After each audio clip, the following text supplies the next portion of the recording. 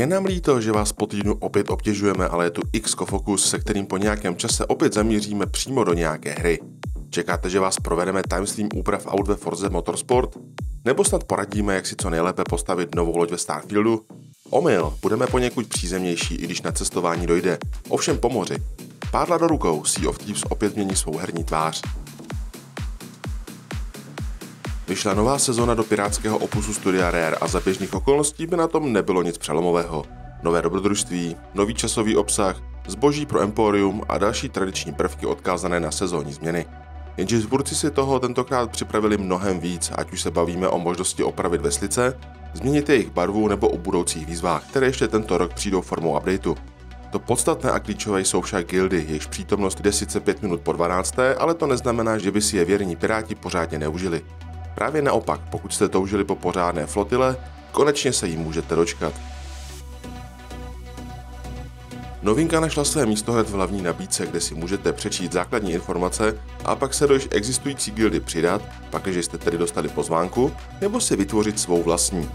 Je jasné, že možná máte přátele napříč platformami, státy či zájmy, a tak se nejspíš všichni nesetkají v jedné gildě, což by ani nešlo, neb jsou omezeny 24 členy. Proto lze být součástí až tří guild najednou a svým počínáním tak přispívat do stejného počtu uskupení. Jelikož jde o novinku a váš nynější průvodce fokusem není zrovna kolektivní, na pozvání by čekal dlouho a tak se vydal utvořit vlastní gildu.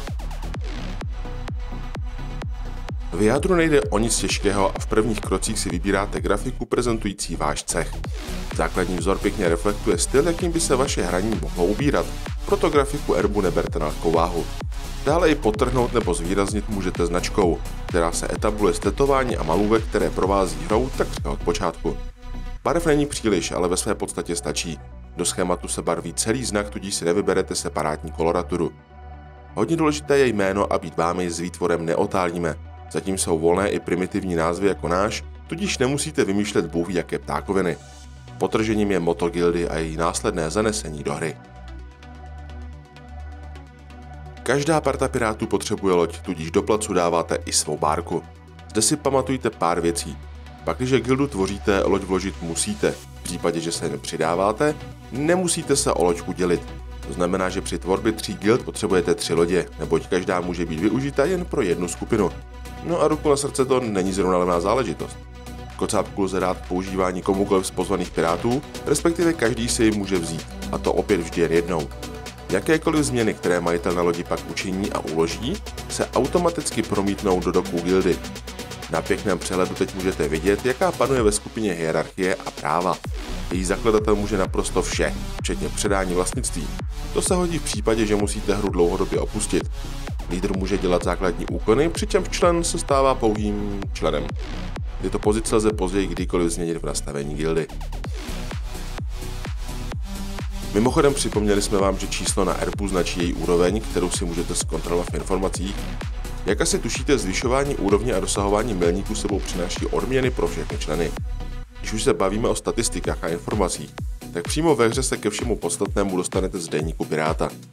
Nově tam naleznete záložku s gildou, její nastavení a možnost pozvat kamaráda. Pak, když vás zajímají detailní informace o lodích a hráčích, musíte do hlavní nabídky. Hra vám prozradí, kolik milníků jaká loď trumfla, jakou má hodnotu a jak dlouho trávila na moři v posledních hrách. Zaujala vás novinka ve hře? Nejste si ale jistí, že se pod gildou chcete plavit? Žádný problém, protože vyrazit na moře můžete i sami za sebe, aniž byste byli pod hlavičkou vaší skupiny. Stačí si v nabídce hry vybrat tradiční dobrodružství. Nicméně, když už se konečně dočkáte kolektivního elementu, proč byste měli zase kopat sami za sebe? Ale pokud vás ani toto nepřiměje do hry vyrazit, protože další hráči, tak byste měli vědět, že privátní servery jsou stále na pořadu dne a možná blíže, než si myslíte. Proto dál sledujte novinky ze světa Sea of Thieves anebo náš kanál XCO TV, po případě Xbox Web, kde bychom si takový velký milník v životě pirátů rozhodně nenechali ujít. Zatím se mějte, jak jen mořští mohou. Zůstaňte s Xboxem? Ano, a zdarec.